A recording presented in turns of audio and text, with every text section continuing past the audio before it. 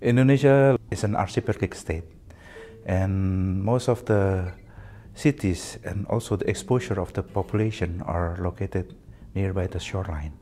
It means that many coastal cities, many coastal villages are located near the risk of the hazard of geological impact.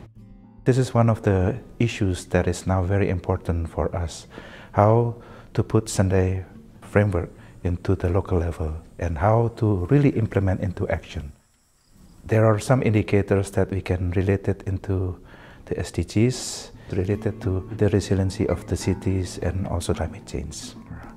This is one of the ways that we try to put the Sendai framework into the local level and also national level.